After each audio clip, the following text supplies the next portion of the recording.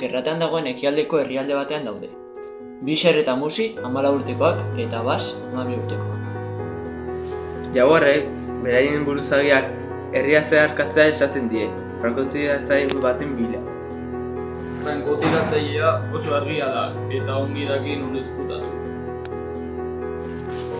Egun aurrera doa, eta ez dute frankotiratzailea lokalizatu orain.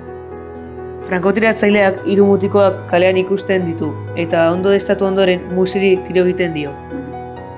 Bixerrek tiroa zineren kutzan diktatoren hartu da, frankotiratzailaren bila joan da eta hiltza lortu du. Bez, hildako frankotiratzeari gert, gerturatu zaio eta beraien adinako nera bere bat dela ohartu da. Biotza txikitu egin zaio.